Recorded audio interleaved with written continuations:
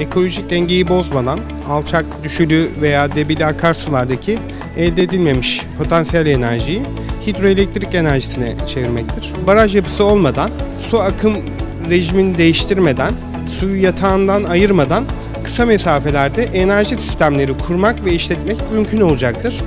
Böylelikle e, suyun, akarsuyun e, tarihi dokusu olduğu gibi kalabilecek. Bizim gibi ARGE ve e, startup olan e, tüm kişiler için böyle proje pazarları çok önemli e, olduğunu düşünüyorum.